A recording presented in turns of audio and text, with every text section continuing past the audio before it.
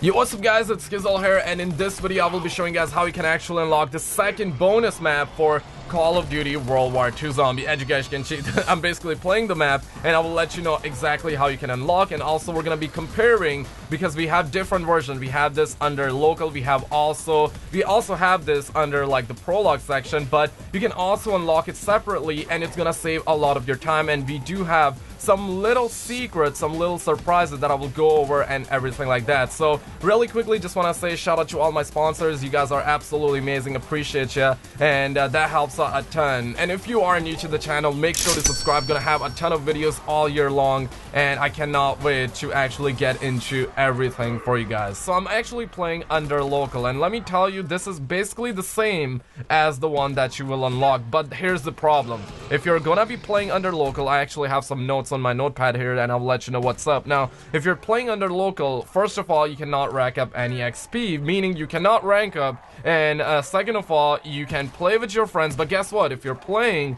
under local, you cannot play with your friends, which is just another problem. So that's basically what's up. But if you actually unlock the map, here's what it's gonna have. It's gonna have the secret room. You basically unlock it via doing an Easter egg. It's just like a little Easter egg, ride. And once you do that, you will unlock a secret room. And behind that, guess what? You're gonna have a mystery box. And not only that, you also have like a random perk machine, which can get you like a lot of different perks. And you also have Juggernaut, which is armor. That's what it's called in World War II Zombies. I will link a separate tutorial. Uh, basically, I made a video yesterday that shows you, or basically I go in depth how the health regeneration system works in World War II Zombies on top, like how Juggernaut works and everything like that. So links are gonna be in the description, and it also has the MP40 wall buy, and also the STG and uh, STG-44 and this combat shotgun right here as well, and it is a ton of fun. But let's just say you don't unlock the map and you just are playing for the first time under the prologue. Yes, it is available under the prologue section, but the problem is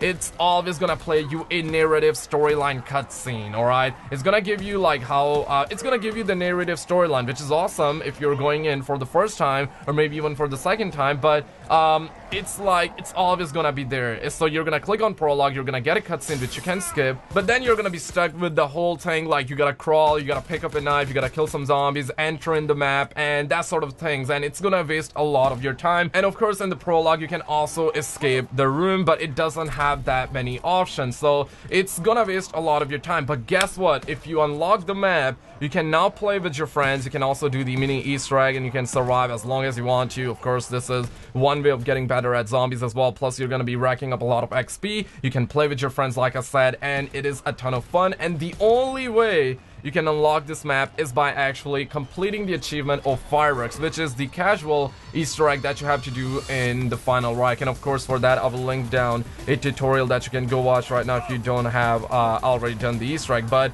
uh, this is how this map works. These are all the different aspects of the map and everything like that. Hopefully, you guys have enjoyed the video. Check out some other videos on the screen. Subscribe if you're new to the channel. Leave a like. And I'll see you very freaking soon.